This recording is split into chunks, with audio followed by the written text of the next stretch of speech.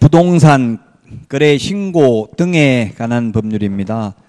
등자가 들어갔습니다. 부동산 거래 신고 등 등자가 들어감으로써 외국인 토지법하고 국토의 계획 및 이용에 관한 법률에 있던 토지거래 허가제도가 합해졌습니다. 2017년도부터 자 그러면 용어 정의를 보겠습니다. 부동산이란 토지 또는 건축물을 말한다.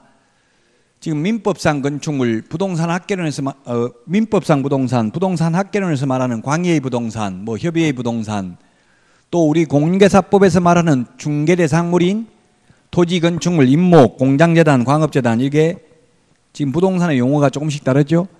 자, 그래서 부동산 거래 신고 등에 관한 법률에서는 토지 건축물만 부동산이고 임목, 광업재단, 공장재단 이런 것은 부동산이 아닙니다. 토지, 건축물만 부동산입니다. 따라서 임목, 광업재단, 공장재단은 부동산 거래 신고를 하지 않는다는 이야기입니다. 자, 이번에 부동산 등이란 부동산 또는 부동산을 취득할 수 있는 권리를 말한다. 그게 바로 입주권, 분양권입니다. 입주권, 분양권. 자, 그래서 부동산 거래 신고하는 것은 토지, 건축물, 입주권, 분양권만 부동산 거래 신고 대상이고 임목, 광업재단, 공장재단은 부동산 임목, 광업재단, 공장재단은 중개대상물이기는 하지만 부동산 거래 신고 대상물도 아니고 계약서 금인 대상도 아니고 토지거래 허가 대상도 아니고 농지 취득자익 증명 대상도 아닙니다. 즉 쉽게 말하면 임목, 광업재단, 공장재단을 투기하는 사람은 없다고 보는 거예요. 투기 또는 투자하는 사람 없다고 보는 거예요. 남이 하면 투기, 내가 하면 투자죠. 보통 사람들이 말하는 게 그래서 어쨌든 임목, 광업재단, 공장재단은 부동산 거래 신고 대상물이 아니라는 말이 내포되어 있는 거고요. 동그라미 3번 거래 당사자란 매수인과 매도인을 말하며 외국인 등을 포함한다. 민법에서 거래 당사자라고 하면 임대인, 임차인도 거래 당사자거든요. 그러나 여기서는 임대인과 임차인은 거래 당사자가 아닙니다. 이 말은 임대인과 임차인은 즉 임대차 계약은 부동산 거래 신고 대상이 아니다. 오직 매매 계약만 부동산 거래 신고 대상이고 교환 계약이나 임대차 계약은 부동산 거래 신고 대상이 아니라는 말입니다.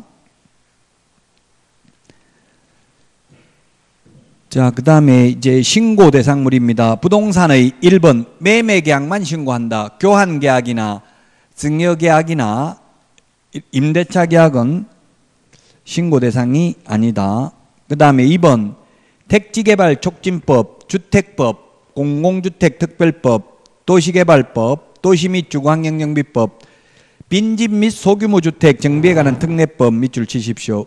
이게 최근에 신설됐습니다. 빈집 및 소규모 주택 정비에 관한 특례법, 산업 입지 및 개발에 관한 법률, 건축물의 분양에 관한 법률에 따른 부동산에 대한 공급 계약입니다. 자, 공급계약 밑줄 치시고요. 2017년부터 도입됐는데 이제 쉽게 말하면 아파트 처음 분양받았을 때에도 부동산 거래 신고해야 된다는 뜻입니다. 옛날에는 공급계약은 부동산 거래 신고하지 않았었습니다. 근데 지금은 공급계약도 부동산 거래 신고를 해야 됩니다. 따라서 이런 부동산 거래 신고 대상인 이런 공급계약, 즉 아파트 분양권을 가지고 있어도 이제 그 청약과 관련된 부분에서는 주택을 있는 것으로 봅니다. 즉 무주택 세대주에 하나여 청약할 수 있다 이렇게 하면 분양권 하나 가지고 있는 사람은 청약 못 합니다. 그리고 만약에 공공 임대주택에 거주하는 분들 예를 들면 국민 임대주택 30년짜리에 거주하고 있는 분들은 2년마다 계약을 계속 갱신하거든요. 30년 동안. 그런데 만약에 아파트 분양권을 하나 가지고 있으면 그 입주자의 지위를 상실하게 됩니다. 왜냐면 재계약 안 해줍니다. 조심해야 돼요. 그래서 즉 분양받는 데 있어서는 이제 분양권을 가지고 있어도 청약하는 데 있어서는 집을 가지고 있는 것으로 본다고 이 분양권도 물론 세금 낼 때는 분양권 가지고 있다고 뭐 1주, 1주택, 2주택 이런 거 계산할 때 들어가지 않죠. 등기하기 전까지는 그러나 청약에 있어서는 아파트 분양권을 가지고 있어도 이제 주택을 가지고 있는 것으로 본다. 물론 우리 시험에는 안 나오겠지만 실무상 중요하다고요. 자, 그래서 이런 처음에 분양받았을 때도 부동산 거래 신고해야 된다. 이 여덟 개 법률이 있는데 이 여덟 개 법률에 건축법은 안 들어갑니다. 건축법. 주택법은 들어가는데 건축법은 안 들어갑니다. 이게 무슨 말이냐면 주택법은 30호 30세대 이상인 경우 적용됩니다. 즉 아파트는 주택법을 적용합니다. 그러나 건축법은 29호 29세대까지 적용됩니다. 즉 빌라를 분양받았을 때 만약에 분양권 상태라면 부동산 거래 신고할 필요 없습니다. 물론 현실적으로는 빌라 같은 거는 다 지어놓고 분양하지 미리 건물도 없는데 분양 그 실제 분양을 안 하고 있죠 현실적으로. 그래서 아파트는 처음 분양받았을 때도 부동산 거래 신고해야 되고 이를 전매할 때도 부동산 거래 신고해야 된다는 뜻입니다. 그 동그라미 3번에 동그라미 기억해 보니까 동그라미 2번에 따른 계약을 통하여 부동산을 공급받을 받는 자로 선정된 지위 즉 아파트 분양권입니다. 아파트 분양은 처음 분양받았을 때도 신고해야 되고 이를 전매할 때도 부동산 거래 신고해야 된다. 그러나 건축법상 허가 대상인 경우는 처음 분양받았을 때도 부동산 거래 신고할 필요 없고 전매할 때도 부동산 거래 신고할 필요 없다.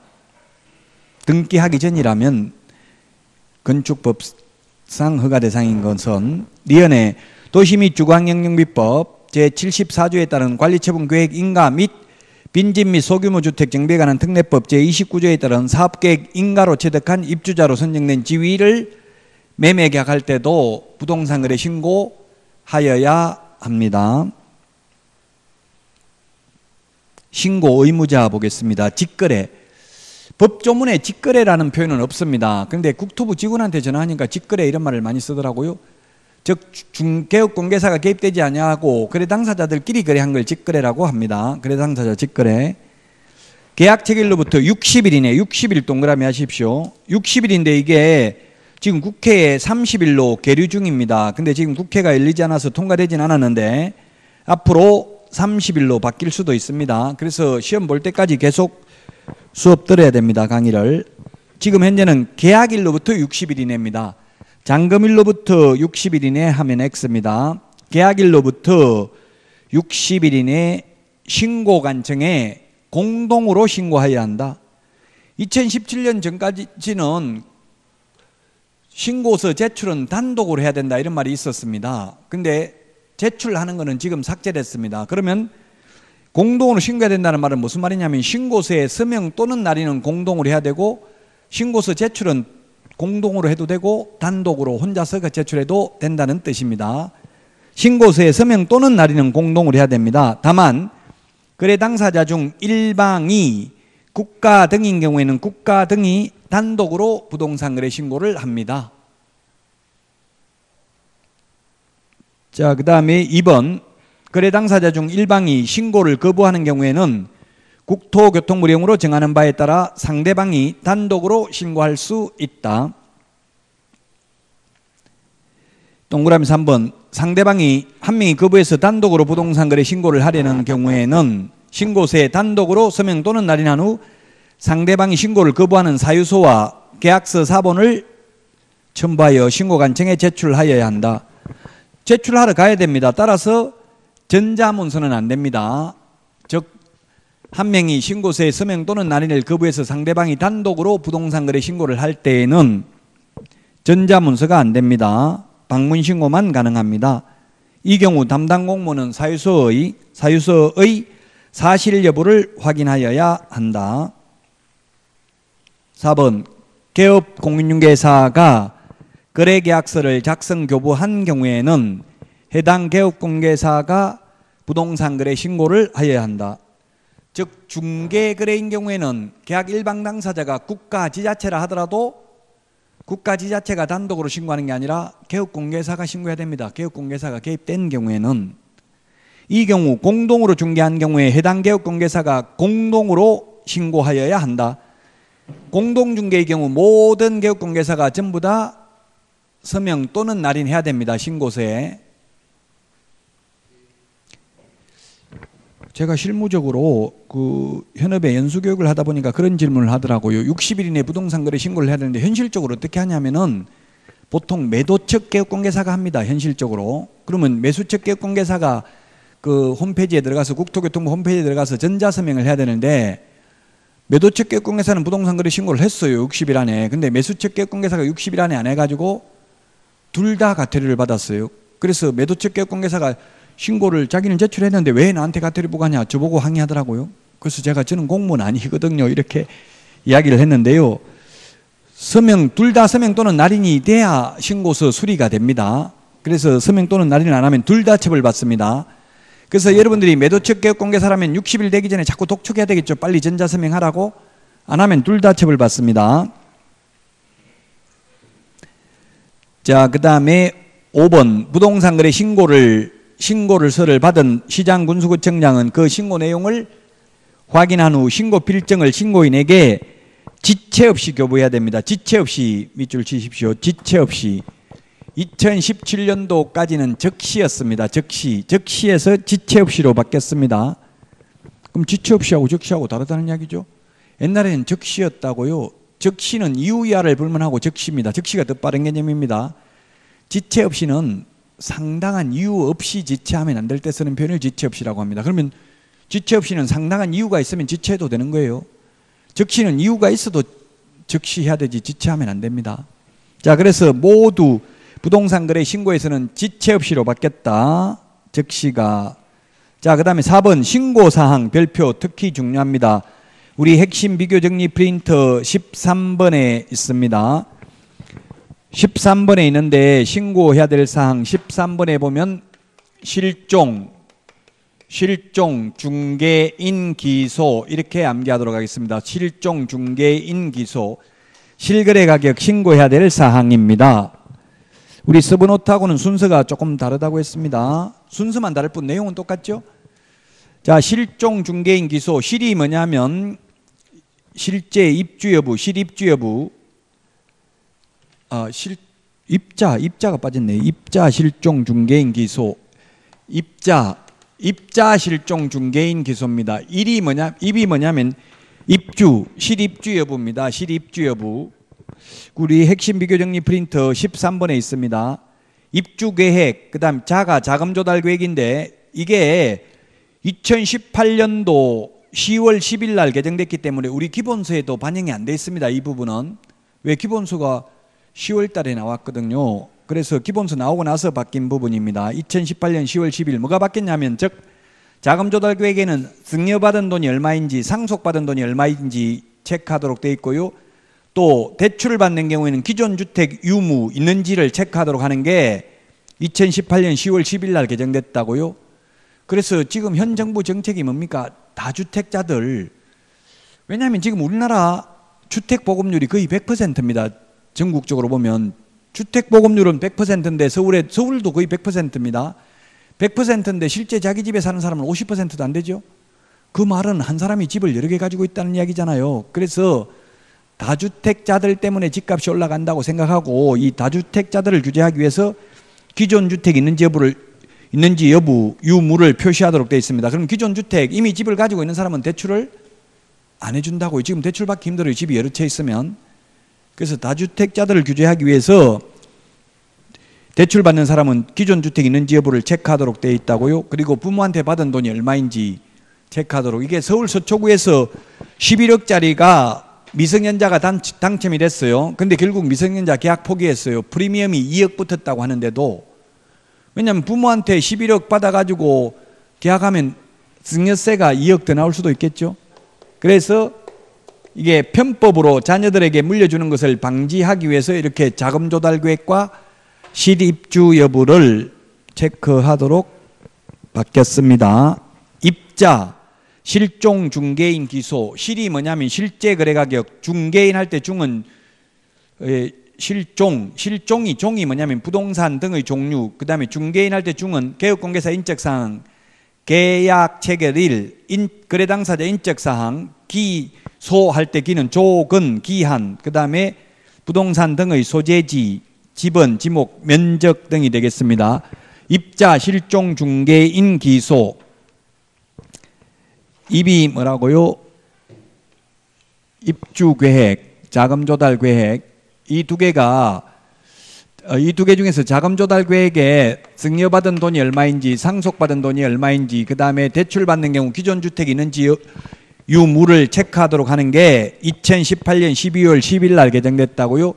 실제 거래 가격, 그 다음에 부동산의 종류, 그 다음에 개업 공개사 인적 사항, 계약일, 물건의 인돌시, 조건, 기한, 부동산 등의 소재지를 신고하도록 되어 있다. 13가지, 아, 13가지가 아니라 9가지인데 13번에 있습니다. 입자, 실종, 중개인, 기소. 이 입주 계획과 자금 조달 계획은 3억 이상인 주택법상 주택입니다. 3억 초과가 아니라 3억 이상이고요. 그 다음에 주택법상 주택입니다. 따라서 오피스텔은 주택법상 주택이 아니잖아요. 준주택이죠. 오피스텔은 자금 조달 계획 제출할 필요 없습니다. 즉 오피스텔 투기하는 사람은 없다는 이야기입니다. 많이.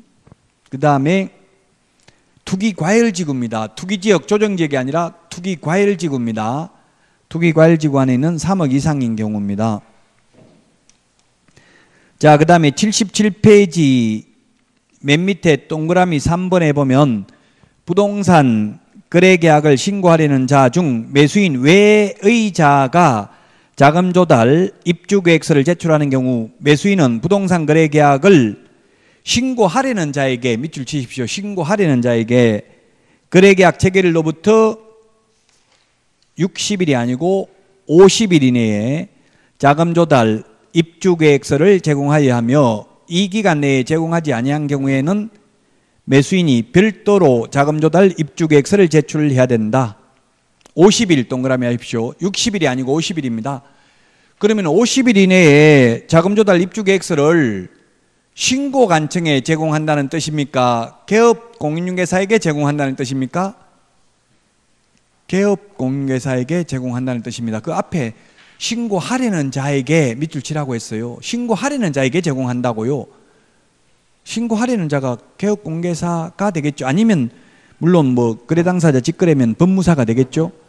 신고하려는 자에게 제공한다고 50일 이내. 그러면 개업 공개사에게 50일 이내 제공하면 개업 공개사가 그거 받아가지고 60일 이내 부동산 거래 신고할 때 이거 자금 조달 계획 제출하면 되겠죠. 그래서 60일이 아니고 50일입니다. 주의하셔야 되겠습니다. 78페이지 양가로 2번 신고 필정 발급입니다.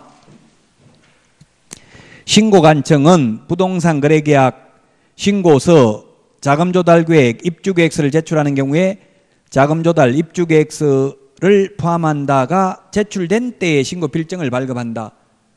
그러면 만약에 미성년자가 이거 11억, 11억짜리 분양받아 가지고 나중에 등기하려고 하는데 등기하려면 신고 필정이 있어야 되죠? 자금 조달 계획 제출 안 하면 신고 필정 발급 안 해주니까 등기를 못하게 되겠죠. 자, 신고 방 5번에 신고 방법입니다. 신고서 어, 제출이 있는데 자, 신고 방법을 보도록 하겠습니다. 부동산 거래 신고 방법입니다. 신고 방법은 첫 번째 전자문서로 신고하는 방법이 있고요. 그 다음에 방문 신고 또는 신고서 제출이 있습니다. 방문 신고, 신고서 제출이 있다. 자, 전자문서는 본인이 본인만 신고할 수 있습니다. 본인만 신고할 수 있고 대리인은 신고할 수 없습니다. 우리 전자계약서 작성도 대리인은 안 되고 본인만 가능하죠? 본인만 전자문서로 신고할 수 있습니다. 방문 신고는 본인도 가능하고 대리인도 가능합니다. 모두 다 가능합니다. 자, 그 다음에 전자문서는 신고하러 가는 사람은 신분증을 항상 제시를 해야 됩니다. 그런데 전자문서는 인터넷으로 하는 거니까 신분증 제시를 못 하겠죠? 따라서 공인인증서가 있으면 됩니다. 공인인증서.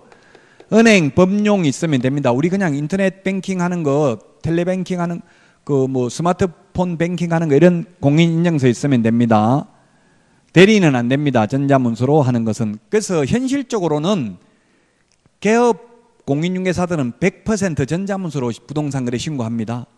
근데 이제 거래 당사자 직거래인 경우는 법무사들이 어차피 등기 신청하러 가면서 대행을 합니다. 왜냐하면 법무사들은 대행을 하면 한 10만 원 정도 받습니다. 부동산 거래 신고를 대행하면 개업공개사는 부동산 거래 신고를 하면서도 한 푼도 돈 못 받죠. 그래서 시군구 갈 수가 없으니까 그냥 인터넷으로 한다고요. 현실적으로. 자, 방문 신고도 본인이 하는데 본인이 하는 거는 그냥 본인 신분증만 가져가면 됩니다. 신분증이란 주민등록증, 운전면허증, 여권 세 개를 이 법에서 신분증으로 인정해 줍니다. 학원 수강증 이런 거는 인정이 되지 않습니다. 자, 그 다음에 대리인이 신고하는 경우가 있는데 대리인은 거래 당사자를 대리하는 경우가 있고 그 다음에 개업 공인중개사를 대리하는 경우가 있습니다. 개업 공개사를 대리하는 경우에는 소속 공인중개사는 소속 공인중개사는 대리할 수 있는데 제출을 대행할 수 있는데 중개보조원은 제출을 대행할 수도 없습니다. 중개보조원은 제출을 대행할 수도 없다. 자 그러면 거래 당사자를 대행하는 경우 제출을 대행하는 경우에는 항상 신고하러 가는 사람의 신분증은 있어야 됩니다. 그래서 대리인 신분증이 있어야 되고요. 그 다음에 본인의 본인 자필 서명 있는 위임장이 있어야 됩니다. 자, 본인이라고 하면 누굽니까? 거래 당사자고 거래 당사자는 매도인과 매수인이죠? 자, 그러면 매수인, 매도인 두 명 거 다 위임장 있을까, 있어야 될까요? 아니면 둘 중에 한 명 것만 있어도 될까요? 둘 중에 한 명 것만 있어도 됩니다. 왜냐하면 이건 뭘 대행하는 거냐면 작성을 대행하는 게 아니라 신고서 제출을 대행하는 거예요. 제가 앞에서 말씀드렸습니다. 제출은 공동으로 제출해도 되고 한 명이 제출해도 된다고 했죠? 따라서 한 명 것만 받더라고요. 현실적으로는 매수인 것만 받더라고요. 왜냐하면 법무사들이 매수인을 대행해서 등기 신청을 대행하니까 자, 그 다음에 본인의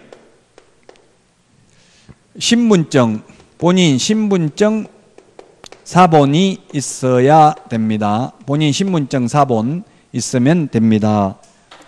다만 이 본인이 법인인 경우에는 법인은 숨을 쉬는 사람이 아니기 때문에 자필할 사람이 없죠. 따라서 법인인 경우는 법인 인감도장이 날인된 법인 인감이 날인된 위임장이 있으면 됩니다. 그 다음에 본인 신분증이라고 했는데 법인은 신분증이 없잖아요. 그래서 법인 인감증명서 있으면 됩니다. 법인 인감증명서가 있으면 되겠습니다. 법인인 경우. 여러분들도 돈이 많으면 수십억 되면은 양도소득세 내려면 양도소득세가 얼마예요? 양도소득세가 6%에서 42%까지 7단계 초과 누진세율을 적용하잖아요. 42%인데 최고 소율 양도 차익이 5억을 초과하면 여기에다가 조정지역에서 1가구 2주택이면 10%를 가산하고 1가구 3주택이면 20%를 가산합니다. 그러면 42%에 20%를 가산하면 조정지역에서 3주택이면 62%고요. 여기에다가 지방소득세를 또 10%더 내야 되거든요. 그러면 최고 세율이 얼마예요? 68.2%의 지방소득세까지 합하면 그래서 이렇게 세금 많이 내면 너무나 크니까 어떻게 하냐 보니까 현업에서 제가 현업을 해보니까 전부 다 돈 많은 사람들은 법인을 만들어서 하더라고요. 법인인 경우는 양도소득세를 내는 게 아니고 법인세 내잖아요. 법인세는 세율이 10% 20% 최고 세율이 대기업이라 하더라도 뭐 매출액이 3천억 넘으면 22%인가 이 정도밖에 안 해요 세율이. 그럼 보통 10% 낸다고 봐야 돼요. 그래서 뉴스에 나오잖아요. 뭐 우병우 전 수석 보니까 정강이라는 가족회사 만들어가지고 운영하고 있죠. 그럼 가족회사 하면 뭘 하냐면 임대업 해요. 부동산 임대업. 부동산 임대업 하는데 이제 임대업 하려고 집을 샀다 팔았다 할 거 아니에요 그 팔 때 양도소득세 내는 게 아니고 법인세 내기 때문에 또 월급 다 주잖아요 가족들끼리 뭐 회장 대표이사 상무 전무 해가지고 월급 주지 차량 유지비 들어가지 이런 비용 처리할 수 있는 게 많잖아요. 그럼 실제 남는 게 거의 얼마 없거든요. 그러면 세금 거의 안 낸다고요. 법인 만들면 돼요. 이게 양도소득세를 회피할 수 있는 수단이 그렇게 하는 거는 처벌할 수는 없잖아요. 탈세는 아니기 때문에 법인세 내니까. 자, 그래서 지금 신고 방법을 78페이지 5번 신고 방법을 말씀드렸고요. 자, 그 다음에 그 양가로 2번 신고 내용의 조사입니다. 동그라미 1번 신고 간청은 검증 등의 결과 신고받은 내용이 누락되어 있거나 정확하지 아니하다고 판단되는 경우에는 국토교통부령으로 정하는 바에 따라 신고인에게 신고 내용을 보완하게 하거나 신고한 내용의 사실 여부를 확인하기 위하여 소속 공무원으로 하여금 거래 당사자 또는 개업공개사에게 거래계약서 거래 대금 지급 증명 자료 등 관련 자료 제출을 요구하는 등 필요한 조치를 취할 수 있다. 거래 대금 지급 증명 자료 밑줄 치십시오. 거래 대금 지급 증명할 수 있는 자료 이게 제출 안 하면 3천만 원 이하의 과태료입니다. 좀 전 시간에 우리 공인중개사법에서 과태료는 2분의 1 범위 내에서 늘리거나 줄일 수 있는데 여기 3천만 원 이하의 과태료와 거짓 신고했을 때 취득 가격의 5% 이하 과태료는 5분의 1 범위 내에서 늘리거나 줄일 수 있다고 했습니다. 동그라미 2번 신고 내용을 조사한 경우 신고 관청은 조사 결과를 신고 관청은 조사 결과를 시도지사에게 보고해야 하며 밑줄 치십시오. 며칠 이내 보고한다. 한 달에 몇 번 보고한다. 이런 말 없습니다.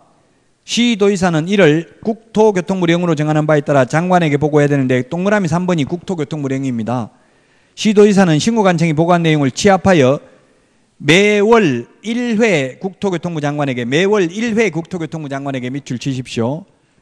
보고하여야 합니다. 물론 전자문서에 의한 보고나 부동산 정보 체계에 입력하는 것을 포함합니다. 자, 이 내용이 우리 핵심 비교 정리 프린터 50번에 동그라미 4번에 있습니다. 동그라미 4번에 신고관청은 시도지사에게 매월 1회 보고한다는 말 없습니다. 그냥 보고한다라고 되어 있고요. 보고받은 시도지사는 매월 1회 국토교통부 장관에게 신고 내용 조사 결과를 보고합니다. 이 부분 조금 어렵습니다.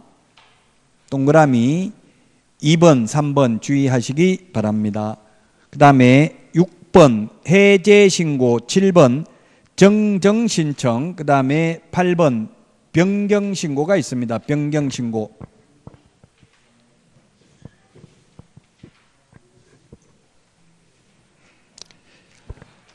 6번에 해제 신고, 해제 신고, 그 다음에 7번 정정 신청,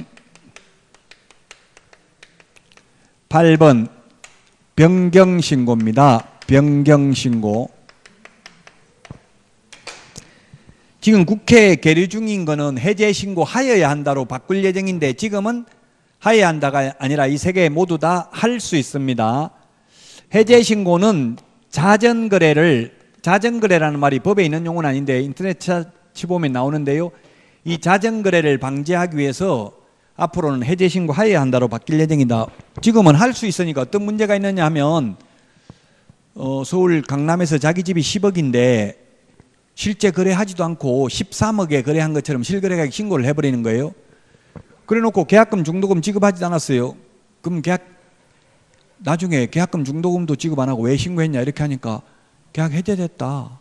해제되는데 해제 신고할 필요 없잖아 이렇게 나오는 거예요. 그러면 그게 거래 사례로 남아버리는 거예요. 그럼 실거래 가격 조회하면 뜨잖아요. 그럼 매수인한테 이거 한 달 전에 두 달 전에 13억에 거래됐습니다. 지금 그런데 금매로 돈이 없어서 12억에 팔겠습니다. 이렇게 하면 매수인이 불척의 피해를 입을 수 있죠. 그것을 소위 자전거래라고 합니다. 그래서 그 자전거래를 방지하기 위해서 이제 해제 신고를 할 수 있다를 하여야 한다로 앞으로 개정할 예정입니다. 근데 지금 국회가 통과되지 않았기 때문에 지금까지는 할 수 있다로 기억해야 됩니다. 정정이라는 것은 오타를 고치는 겁니다. 처음부터 잘못 적은 것을 고치는 것을 정정이라고 합니다. 정정. 따라서 정정 신청은 법정 서식이 없다. 법정 서식이 없기 때문에 신고 필정에 정정상을 고쳐서 제출하러 가야 됩니다. 그래서 방문 신고만 가능합니다. 방문 신고만 가능하다. 전자문서는 안 된다는 이야기입니다. 왜냐하면 신고 필증에 정정상을 고쳐서 가져가야 되니까 변경 신고는 등기 신청 전에만 가능합니다. 등기법에 따른 등기 신청 전까지만 가능합니다. 그 다음에 면적 변경 없이 면적 변경 없이 면적 변경 없이 가격을 변경하는 경우 면적 변경 없이 가격 변경하는 경우에는 계약서 사본 등을 제출해야 됩니다. 계약서 사본 등을 제출해야 되므로 역시 방문 신고만 가능합니다. 전자문서는 안 됩니다. 그러면 면적 변경이 있으면서 가격을 변경하는 경우는 전자문서 가능하다는 이야기죠. 면적 변경 없이 가격을 변경하는 경우만 전자문서가 안 된다. 이 세 가지 모두 다 하여야 한다가 아니라 할 수 있답니다. 현재는 할 수 있다. 앞으로는 해제 신고 하여야 한다로 바뀔 예정입니다. 시험 보기 전에 바뀔 수도 있으니까 끝까지 수업은 들으셔야 되겠습니다. 자, 그러면 79페이지 다시 보겠습니다. 6번 해제 신고인데 1번 부동산 거래계약 신고서를 제출한 후 해당 거래계약이 무효 취소 해제된 경우 거래 당사자 또는 개업공개사는 부동산 거래계약 해제 등 신고서에 서명 또는 날인입니다. 서명 또는 날인 밑줄 치시고요. 거래계약서와 확인 설명서만 서명 및 날인이고 그 외의 모든 서류는 서명 또는 날인입니다. 제출할 수 있다 밑줄 치십시오. 이거 바뀔 수 있는데 현재는 제출할 수 있다. 2번 해제 신고를 받은 신고 관청은 그 내용을 확인한 후 부동산 거래계약 해제 등 확인서를 신고인에게 지체 없이 발급해야 된다. 지체 없이 밑줄 치십시오. 옛날에 적시였는데 지금은 지체 없이로 다 바뀌었다고 했습니다. 동그라미 3번 부동산 거래계약 시스템을 통하여 부동산 거래계약 해제 등을 한 경우에는 부동산 거래계약 해제 등이 이루어진 때에 부동산 거래계약 해제 등 신고서를 제출한 것으로 본다. 즉 전자계약서를 적으면 따로 해제 신고할 필요 없고 따로 부동산 거래 신고할 필요 없고 따로 확정일자 받을 필요도 없죠. 동주민센터 갈 필요도 없습니다. 시스템상 그냥 확정일자에 체크만 하면 됩니다. 해제도 마찬가지입니다. 해제했다고 체크만 하면 따로 해제 신고서 제출할 필요 없습니다. 전자계약서 작성 올해 시험에 반드시 한 문제 나온다고 예고되어 있습니다. 자, 그 다음에 7번 정정이라는 것은 오타를 고치는 겁니다. 자, 정정 신청, 변경 신고가 있는데 우리 핵심 비교 정리 프린터 14번, 15번, 14번에 정정 신청이 있네요. 14번 주지사 종목 주지사 종목 이렇게 암기하도록 하겠습니다. 주소, 거래 지분, 사무소 소재지, 건축물의 종류, 지목입니다. 지목. 자, 그래서 우리 79페이지 서브노트의 박스에 보면 기억에 거래 당사자 주소, 전화번호 또는 휴대전화번호입니다. 요것만 해당자만 서명 또는 날인하여 정정할 수 있습니다. 즉 매수인 휴대폰 번호를 잘못 적었으면 매수인만 서명 또는 날인하면 된다고요. 나머지는 거래 당사자 모두 다 서명 또는 날인해야 됩니다. 미연의 거래 지분 비율 그 다음에 디귿의 개업 공개사 사무소 소재지입니다. 그 다음에 리얼의 건축물의 종류 할 때 건축물 밑줄 치십시오. 옛날에는 부동산의 종류였는데 건축물로 건축물의 종류로 바뀌었습니다. 그럼 토지의 종류는 정정이 안 된다는 이야기입니다. 건축물의 종류 옆에다가 토지의 종류 X, 건축물의 종류만 정정이 가능하고 토지의 종류는 정정이 안 됩니다. 미음, 거래 대상 부동산의 지목, 면적, 거래 지분 및 대지권 비율 정정이 가능합니다. 예, 지목입니다. 지목, 주지사 종목이라고 했습니다. 그 밑에 별표에 토지의 종류, 부동산 등의 소재지, 지번, 실제 거래 금액, 중도금 지급일, 계약 일자, 거래 당사자의 성명과 주민등록 번호는 정정이 불가능합니다. 계약의 본질적 내용은 정정이 안 됩니다. 계약 깨졌으면 해지하고 새로 해제 신고 부동산 거래 신고하라는 뜻입니다. 예를 들면 주민등록번호를 정정해 버리면 매수인을 바꿔버려 놓고 정정할 수도 있겠죠. 그래서 계약의 본질적 내용은 정정이 안 된다.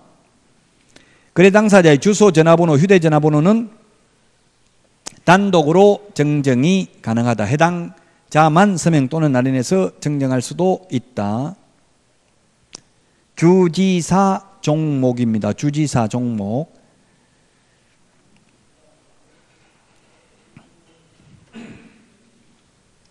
지금 79페이지 맨 밑에 박스 밑에 동그라미 2번 지금까지 드린 말씀이 있습니다. 그 주소, 전화번호, 휴대전화번호는 해당자만 서명 또는 날인하여 정정을 할 수 있다. 80페이지 변경신고입니다. 변경신고.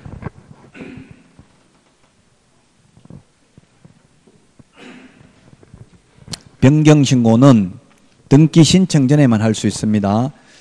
그 우리 핵심 비교 정리 프린터 15번에 있습니다. 지분 변경 도면 가기 이렇게 되어 있습니다. 지분 변경 도면 가기 지분 변경 도면 가기 지분 변경 도면 가기 여덟 가지입니다. 자, 그래서 우리 핵심 비교 정리 프린트는 15번에 있습니다. 지분은 거래 지분 비율, 거래 지분, 변경은 공동 매수의 경우 일부 매수인의 변경, 일부가 제외되는 경우만 해당됩니다. 일부가 추가되는 경우는 안 됩니다. 4번도 거래 대상 부동산 등이 다수인 경우 일부 부동산 등의 변경인데 일부가 제외되는 경우만 해당된다. 가령 예를 들어서 매수인이 A, B, C 세 명이거나 또는 매수할 부동산이 A, B, C 세 개다 세 개에서 두 개로 변경은 가능하지만 네 개로 추가할 때는 변경 신고가 안 된다는 이야기입니다. 추가되는 부분은 새로 부동산 거래 신고를 해야 됩니다. 제외되는 경우, 즉 줄어드는 경우만 변경 신고가 가능합니다. 지분 변경, 도면 가기인데 도는 중도금, 잔금 및 직업일, 그 다음에 도면 할 때 부동산 등의 면적, 가기 할 때 거래 가격, 기는 조건 기한입니다. 면적 변경 없이 가격 변경은 계약서 사본 제출해야 됩니다. 그 다음에 등기 신청 전에만 가능하다고 했습니다. 지분 변경, 도면 가 기입니다. 자, 그 다음에 박스 밑에 동그라미 2번에 보니까 변경 신고를 하는 거래 당사자 또는 개업공개사는 부동산 거래 계약 변경 신고서에 서명 또는 날인하여 신고 간청에 제출해야 된다. 다만 부동산 등의 면적 변경 없는 상태에서 거래 가격이 변경된 경우에는 거래 계약서 사본 등 그 사실을 증명할 수 있는 서류를 첨부해야 된다. 따라서 첨부하러 가야 되니까 첨부해서 제출해야 되니까 방문 신고만 가능하다고요. 전자 문서가 안 된다고요. 그 다음에 3번 정정 신청 또는 변경 신고를 받은 신고 간청은 정정 사항 또는 변경 사항을 확인한 후 지체 없이 해당 내용을 정정 또는 변경하고 정정 사항 또는 변경 사항을 반영한 신고 필정을 재발급해야 됩니다. 지체 없이입니다. 모두 지체 없이로 받겠다고 해서 적시가 아니고. 자, 그 다음에 9번 검정 체계 구축 운영입니다.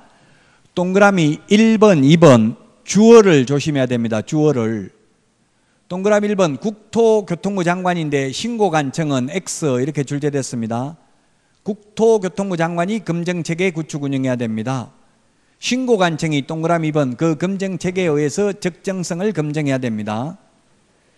시험에는 안 나옵니다만은 그 실무적으로 보면 검정체계가 주택하고 토지만 있습니다. 상가는 검정체계가 없습니다.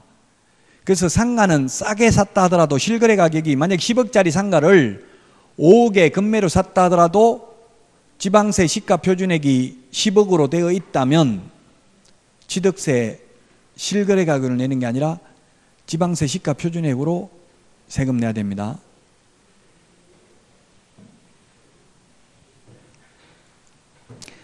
시험에는 안 나옵니다. 우리 시험에는 어쨌든 실무에 나가면 상가는 검증 체계가 없다고 주택하고 토지만 있어요. 검증 체계가.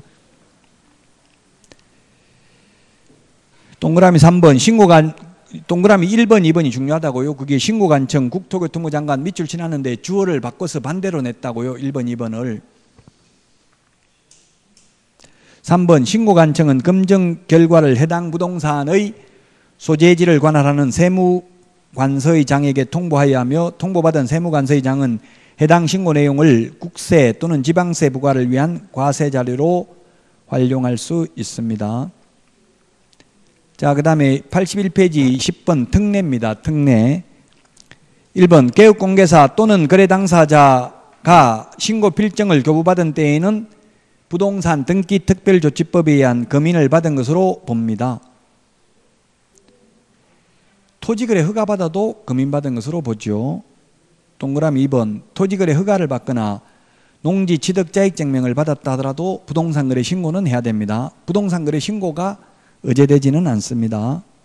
11번 금지행위인데 이 금지행위는 시험에 나온 적이 없어요. 왜냐하면 이게 500만 원 이하의 가태료 거짓 신고하면 취득가격이 100분 5 가태료 부과되는 거니까 읽어보면 다 금쟁이라는 건 알 수 있기 때문에 다음 중 금쟁인가 아닌 것 이렇게 내기가 어렵다는 이야기 변별력이 없다는 이야기입니다 1번에 보니까 거래 당사자가 개업공개사로 하여금 부동산 거래 신고를 하지 아니하게 하거나 거짓 신고하도록 요구하는 경우 500만 원 이하의 가태료 2번 거짓 신고 신고 의무자가 아닌 자가 거짓된 내용의 부동산 거래 신고를 하는 행위 거짓 신고하면 취득 가격의 100분 5 가태료죠. 이하.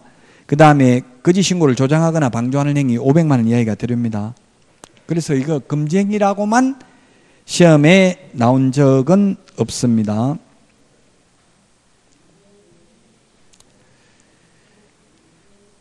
자, 그 다음에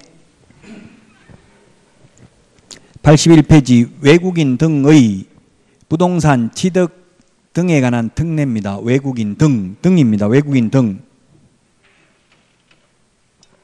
그 다음에 부동산 취득 등에 관한 특례입니다. 부동산입니다. 옛날에는 2017년도에는 외국인 토지법이었어요. 외국인 토지법.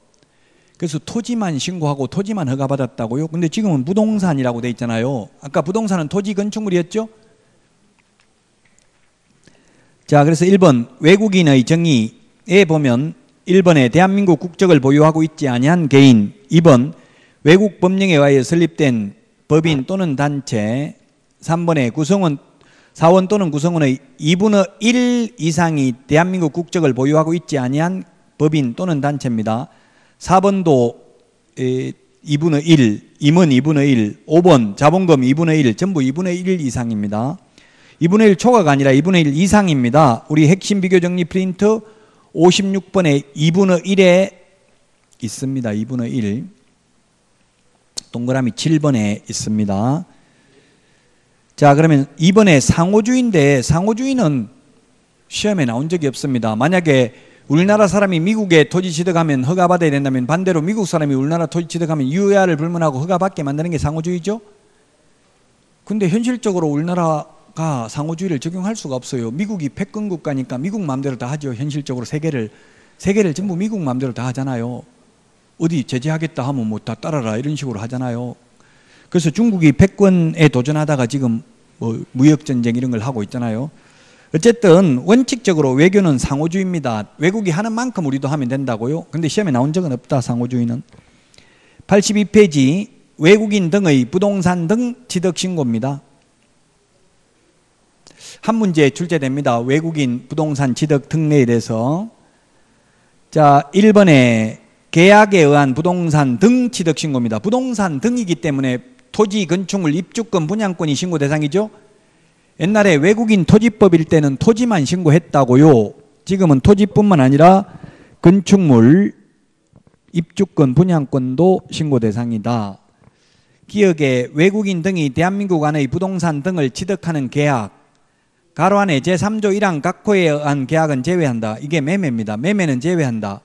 를 체결하였을 때는 계약 체결로부터 60일 이내에 신고 관청에 신고해야 된다. 계약일로부터 60일 이내입니다. 자, 이 부분이 좀 어렵습니다. 이해하기가. 그래서 시험에도 출제됐는데 많이 어려워하는데 자, 그러면 매매, 교환, 승여, 계약을 원인으로 소유권 이전하는 경우 이 세 가지인데요. 자, 그러면 외국인의 경우 아까 가로 안에 매매는 제외한다 되는데 매매는 외국인의 경우 부동산 거래 신고해야 하네요. 매매를 원인으로 소유권을 취득한 경우에는 합니다. 계약일로부터 60일 이내 하는데 하기는 하는데 외국인 특례, 특례라는 게 뭡니까? 특례. 특례라는 건 특별한 예외를 말하는 거죠. 매매는 특례가 아니라 일반 규정에 의해서 신고합니다. 즉 매매인 경우 우리나라 사람이든 외국인이든 모두 계약일로부터 60일 이내에 신고해야 되고 신고 안 하면 500만 원 이하의 가태료고요. 근데 교환이나 승려 계약은 우리나라 사람은 신고 안 합니다. 다만 외국인 특례에 의해서 외국인의 경우 교환 승려 계약도 계약일로부터 60일 이내 신고해야 되고 안 하면 300만 원 이하의 가태료라는 가태료 대상이라는 뜻입니다. 그래서 이 가로 안에 법제 3조 1항 각호는 제외한다 이 말은 매매는 특례에 의해서 신고하는 건 아니고 즉 일반 규정에 의해서 부동산 거래 신고를 한 번 했다면 외국인 특례에 의해서 또 한 번 신고할 필요는 없다는 뜻입니다. 가로 안에 있는 말이 자, 그 다음에 동그라미 2번 계약 외의 원인으로 부동산 등 취득 신고입니다. 상속 경매의 경우에는 취득한 날로부터 6월 이내에 신고해야 됩니다. 취득한 날이기 때문에 상속은 상속 개시일, 그 다음에 경매의 경우에는 매각 대금을 다 낸 날로부터 6개월 이내죠. 시험에 매각 허가 결정을 받은 날로부터 6월 이내 X로 출제됐습니다. 매각 허가 결정을 받은 날로부터가 아니라 등기한 날로부터가 아니라 잔금을 다 낸 날로부터 6월 이내 신고해야 됩니다. 안 하면 100만 원 이하의 과태료 대상이 되겠습니다. 동그라미 3번 계속 보유 신고입니다.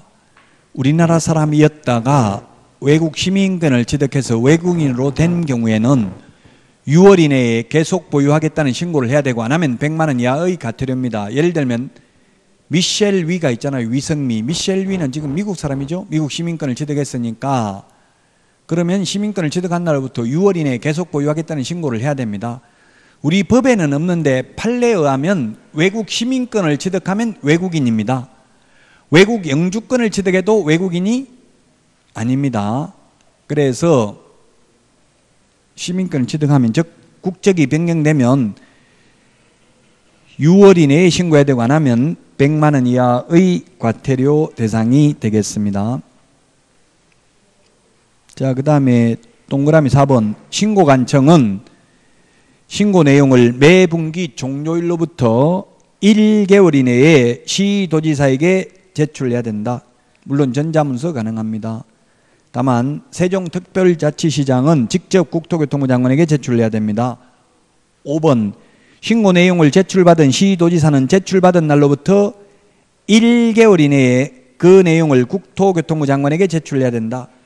그래서 동그라미 4번에 매 분기 종료일이라고 했어요. 그래서 1월 달부터 3월 달까지가 1분기잖아요. 그럼 1월 달부터 3월 달까지를 4월 말까지 신고 관청은 시도의사에게 제출해야 되고 시도의사는 제출받은 내용을 5월 말까지 국토교통부 장관에게 제출해야 됩니다. 그러면 6월 달에 가보면 국토교통부 홈페이지에 보면 1월 달부터 3월 달까지 외국인이 우리나라 부동산을 보유하고 있는 현황이 다 공고되어 있습니다. 홈페이지에. 그래서 이 그 국토교통부 홈페이지를 보니까 이게 외국인은 순수한 외국인 자연인을 의미하는 게 아니고요. 주로 외국의 기관 투자가들이더라고요. 그래서 전부 돈 되는 데만 다 땅을 샀더라고요. 그래서 외국인이 투, 주식도 마찬가지잖아요. 외국인이 투자하는데 투자하면 돈 벌 수 있죠. 그 외국인 기관 투자가들이기 때문에 그렇습니다. 이거 1개월 우리 그 핵심 비교 정리 프린트 1개월에 보면 다 적어놨습니다. 1개월에 동그라미 12번, 동그라미 13번에 있습니다. 45번에 12번, 13번에 있습니다. 자, 그 다음에 서브노트 82페이지 4번 토지 취득 허가입니다.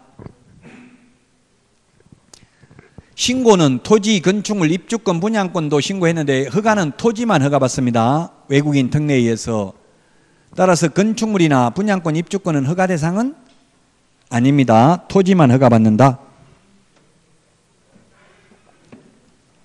자 그러면 82페이지 맨 밑에 다만 법 제 11조에 따라 토지거래 계약에 관한 허가를 받은 경우에는 그러하지 아니하다 이 말은 다음 주에 할 거 국토교통부 장관이나 시도의사가 허가구역으로 지정을 한 허가구역에서 허가를 한 번 받았다면 외국인 특례에 의해서 두 번씩 허가받을 필요는 없다고 했죠? 마찬가지잖아요. 매매 계약을 체결해서 부동산 거래 신고를 한 번 했으면 외국인 특례에 의해서 또 한 번 신고할 필요 없다고 했잖아요. 자, 그러면 83페이지 메뉴의 박스 우리 핵심 비교 정리 프린터는 20 27번에 있나요? 예, 27번에 있죠. 27번에 보면은 있습니다. 군문자야 네 군데입니다. 군문자야 27번 핵심 비교 정리 프린터는 군문자야 군사기지 및 군사시설 보호구역, 문화재 보호구역, 자연환경보전법에 의한 생태경관 보전지역, 야생 생물 특별보호구역 이 네 군데에서는 미리 허가 받아야 됩니다. 허가는 미리 받아야 됩니다. 모든 허가는 다 사전 허가죠. 근데 신고는 사전 신고도 있고 사후 신고도 있다고 했죠. 지금 외국인 특례에 의해서 신고하는 건 모두 사후 신고입니다. 사후 60일 이내 6월 이내에 신고했잖아요. 근데 허가는 미리 받아야 되고 토지만 허가 받습니다. 건물은 허가 대상이 아닙니다. 군문자야 이거 시험에 많이 출제됐습니다. 83페이지 서브노트 메뉴의 박스 핵심 비교 정리 프린트는 27번에 있습니다. 27번. 자, 그 다음에 83페이지 박스 밑에 보면은 동그라미 2번, 3번 있는데 이거 똑같습니다. 신고받은 내용, 허가 받은, 허가해준 내용 전부 다 똑같습니다. 매 분기 종료일부터 1개월 이내에 신고 간청은 시도의사에게 제출해야 되고 제출받은 시도의사는 1개월 이내 장관에게 제출해야 됩니다. 동그라미 4번 위반 시 제재입니다. 외국인 특례에 의해서 외국인이 군문자야 즉 군사기지 및 군사시설 보호구역 등에서 미리 허가를 받지 아니한 경우에는 2년 이하의 징역이나 2천만 원 이하의 벌금에 처합니다. 그리고 그 밑에 박스에 있는데 박스 이거 별표 넣고 이것만 정리하면 되겠죠? 허가 없이 취득한 계약은 무효입니다. 그리고 허가 신청하면 15일 이내에 허가 여부를 통보해야 된다. 15일 이내에. 83페이지 어, 그 박스 밑에 있는 박스 여기에 별표해 놓으시고 한 문제 출제된다고요. 외국인, 부동산 등 취득 특례입니다. 신고는 건축물, 토지, 입주권, 분양권이 신고 대상이고 허가는 토지만 허가 대상이라고요. 허가는 미리 허가 받아야 되겠습니다. 자, 그러면 이번 주는 여기까지 하고 다음 주부터 이제 토지거래 허가제부터 해서 실무까지 진도를 나가게 되겠습니다. 쉬었다가 오늘 내드린 문제 풀도록 하겠습니다.